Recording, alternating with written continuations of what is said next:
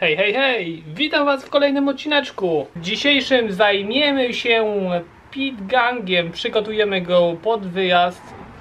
Wiem, że będzie zaraz pełno zapytań, kiedy y, turbolącin to wszystko będzie, lecz niestety w ostatnim czasie nie robiłem nic przy nim ze względu, że była bardzo ładna pogoda w tygodniu. No i miałem pełno takich prac polowych, takich różnych. No i chciałem to ogarnąć, y, póki pogoda była w miarę na to. Teraz zapowiada się znowu jakaś kitowa, więc zajmiemy się lącinem. Ale y, dzisiaj jest niedziela, troszeczkę tak nie wypada, no ale chcę się troszeczkę przejechać. Jestem strasznie wypuszczony. Mało co ostatnio jeżdżę, bo nie ma czasu. No i przez to ugadaliśmy się z Pitbike Riderem, że pojeździmy i z takim Kubą, co ma kolejnego pitganga, czyli na trzy pitgangi. Trzeba zrobić niestety mały serwis y, w moim pitgangu y, ze względu takiego, że po ostatniej jeździe y, były małe problemy, takie iż są straty. Już wam pokazuję, co się podziało. Pierwsze co, coście widzieli pewnie na filmiczku, no niestety rozwaliłem klamkę. E, Zastosujemy tu może klamkę ze skutera, jak będzie pasować, a jak nie będzie pasować, to zastosujemy tutaj klamkę z lącina. No niestety e, z plastikami jest taki problem, za- zawadziłem tym bokiem o gałąź wystającą jak mo- motor leciał i po prostu chyciła tu gałąź i wyrwała mi, wyrwała mi tutaj mocowanie od plastiku, ale tutaj jest jeszcze troszeczkę to nawiercimy, przychycimy to tutaj tretytką. Nie chcę tego spawać ani nic na razie, bo motor lata. No niestety podgiąłem trochę ogon, bo poleciałem na koło i widać, że tutaj troszeczkę jest wybulone. Ogon mi się trochę podgiął, więc będę musiał tu rozebrać ogon i wyprostować. Więc to też się tym zajmiemy. A tak to takie klocki z przodu, czy takie pierdółeczki.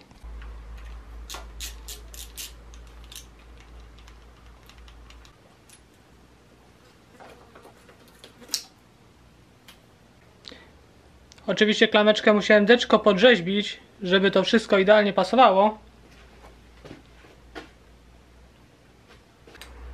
Dalej jeszcze nie jest to co... Chińszczyzna. Ech, jeszcze... No niestety gniazdo tutaj w środku jeszcze muszę wy- wyrównać, bo nie będzie pasować i będzie mi rwać linkę. Trzeba to kurde przerobić. Jak widać, poprawione. Tutaj też jest poprawione. Jak i tutaj jest poprawione.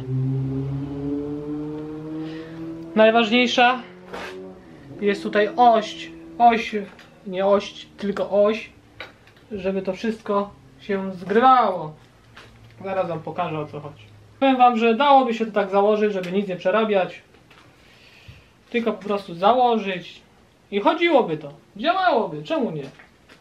Tylko po pewnym czasie miałbym coś takiego, iż urwałaby mi się linka. No niestety. Urwałaby mi się linka. Ta klamka niestety jest wpisana na straty, ale trudno. I tak po pierwszej wywrotce pewnie się ona złamie, bo jest strasznie cienka. To zapożyczyłem sobie z lącina tego 125. No niestety ale przynajmniej mam sprzęgło. Teraz na tej klamce ciężej sprzęgło chodzi niż, niż na tej. Nie wiem czemu, ale no, ciężej jest wcisnąć. Na tej klamce było mi lżej, tak wam szczerze powiem. Jednym palcem wciskał, a na tej, na tej jednej palce, jednym palcem nie wcisnę sprzęgła, zapierona. Muszę dwoma. Nie wiem czemu. Efekt dźwigni? No tak wam szczerze powiem, że na tej klamce to jednym paluszkiem sprzęgło wciskałem, a na tym to muszę dwoma. Strasznie twardo sprzęgło chodzi teraz.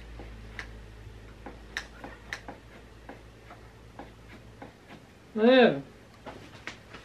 Taka klamka. Ale te klamki od Pinga, Pitganga powiem wam, że naprawdę dużo, dużo gleb wytrzymały. Więc naprawdę kozackie jest. Dobra, zajmiemy się tylnym kołem. Łańcuch już jest trochę luźny. Więc pasuje tutaj jakoś podciągnąć.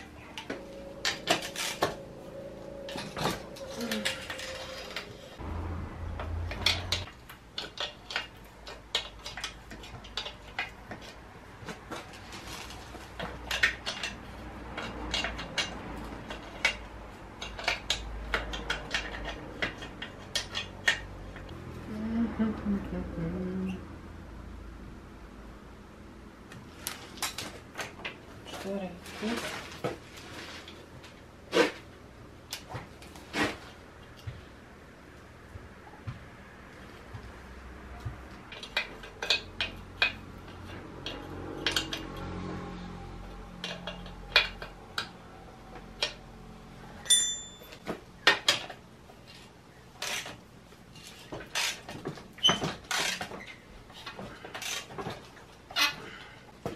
No niestety luz jest na amortyzatorze i delikatnie na wahaczu.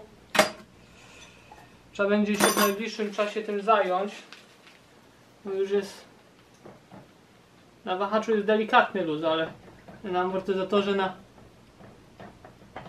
na dwóch łożyskach górnym i dolnym nie wiem czy tam są łożyska czy tulejki yy, w, w amortyzatorze no to po obydwu jest już luz, nie? Ewentualnie, no jedynie co, no to to karka jest, to się dorobi, jak są tam tulejki jakieś mosiężne albo coś w tym stylu, nie? Do amorka. A w wahaczu się łożyska wymieni na nowe. Dobra, pociągnęliśmy trochę, jest git. Przynajmniej powinien być git, na razie.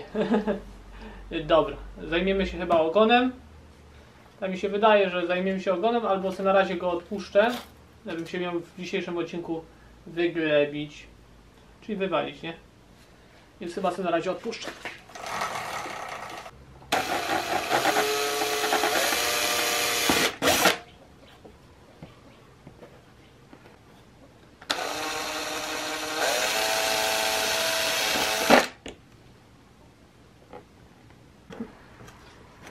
Musiała być gleba, nie? Musiała być gleba, że to tak się wy, wygięło i ciężko wyprostować. Popatrzcie. Ale to upierdliwe. No jasny gwin, no. Trzeba się pobawić doktora. Mhm.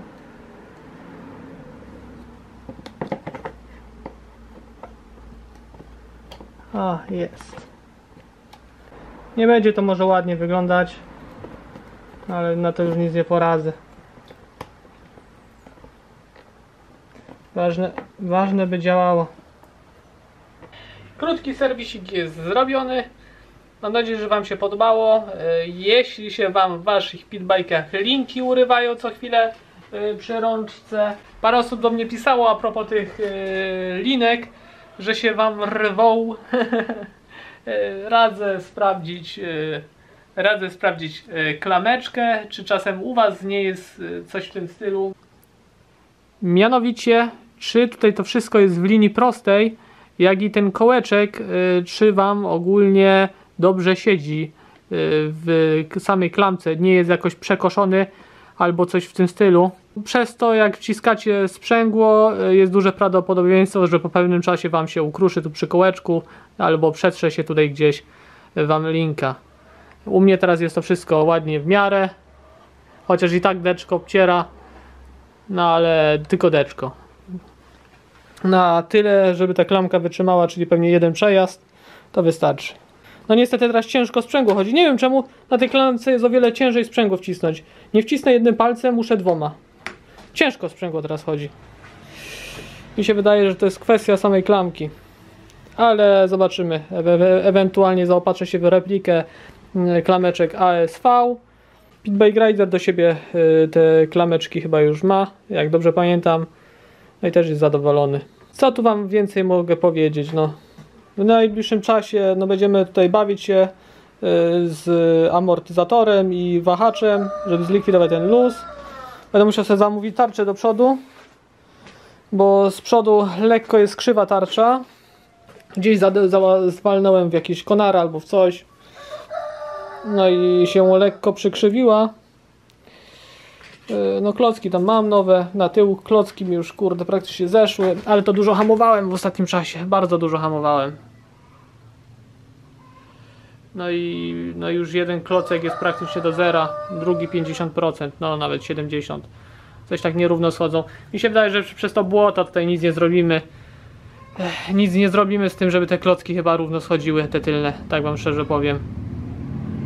No po, po prostu no to w błocie pracuje i, i, i tyle, no we wodzie, w błocie, no i, no i szprychy muszę podciągnąć. Gdzie niegdzie są delikatnie, delikatnie są luźnawe. No. Delikatnie luźne są niektóre. Ogon jeszcze muszę. Ja same, same problemy. Tu muszę delikatnie takie wybruszenie, będę musiał to rozebrać. Ale dzisiaj mi się nie chce niedziela, więc nie będę grzebał przy tym. No. A tak to naprawdę fajnie się tym jeździ. Kurczę, powiem wam, że naprawdę po kozacko mi się tym pitbike'iem jeździ. W porównaniu do RCU, do RCK, co miałem wcześniej, Pitgang wy, wygrywa pod każdym względem. Prawie, bo RCU miał większą moc, no to tamten to mogę wam powiedzieć, że no, szedł pod górki. No ale ta większa moc miała, była kosztem tego, że naprawdę ciężko było odpalać e, tą kompresję, przebić nogą, no to e, człowiek jak jeszcze jest zmęczony, siepa się, posiepie się tym pitbike'iem, to potem naprawdę ciężko jest to odpalić. No i strasznie głośny był. No i dobra, no i tyle. No niestety nie mam e, porównania do innych pitbike'ów, no takiego RC Biga albo coś w tym stylu. Dużo pi piszecie, dużo się mnie pytacie o tego RC Biga, ale u mnie w okolicy nikt nie ma, więc no nie jestem w stanie, tak przynajmniej po znajomych, e, nie jestem w stanie wam powiedzieć e, w porównaniu do tego egzemplarza. W porównaniu do zwykłego RCK, no nie ma porównania, wam powiem. No, Pitgang wygrywa praktycznie pod każdym względem do modelu RC. No, cenowo tak samo. Chociaż teraz, no nie ukrywam, jest nie, niedostępny i nie wiadomo kiedy będzie dostępny. Pytałem się tam właścicieli marki, ale na razie nie mam odpowiedzi. Nie wiadomo, więc nie wiadomo. A w porównaniu do RC Biga, nie wiem. No nie jestem w stanie wam powiedzieć, bo nie jeździłem. Dużo mam też takich od was y, za, jakby to można powiedzieć. Dużo mam takich od was zarzutów, że jeżdżę tym motorem, no to chwalę, e, reklamuję i to wszystko. Nie! Co mi się podoba, to wam mówię. Co mi się nie podobało, to wam e, też mówię, więc e, mam nadzieję, że mnie rozumiecie. Nie ma motorka e, bez wad. Każdy ma jakieś zalety, każdy ma jakieś wady, które wychodzą w, z biegiem czasu. E, Co do 120, no już nakręciłem film e, na kanale. O Pitgangu 140XD też nagram taki sam odcinek w najbliższym czasie, e, więc też zachęcam Was do śledzenia tego kanału, do subskrybowania. Jeśli chcecie być na bieżąco z filmikami, zachęcam też Was do łapkowania. Zapraszam też Was na Instagrama, do którego znajdziecie link w opisie pod filmem. Co do Lącina Turbo, yy, no to będzie też za niedługo, tak jak mówiłem na początku filmu, będzie brzydsza pogoda, będę grzebał przy Lącinie, będzie ładniejsza, no to mam tutaj sporo do pracy, takie tutaj na tej małej gospodarce, więc no tak bywa. Że na wszystko mi nie starcza czasu. Za niedługo wpadnie na kanał tak samo filmik z dzisiejszej jazdy i z wcześniejszej zrobię z dwóch jazd jeden filmik. Mam nadzieję, że jakaś akcja będzie. Zobaczymy, to tam znowu Pitbike Rider odpierdzieli. Więc do usłyszenia, do następnego. Trzymajcie się, na razie, hej!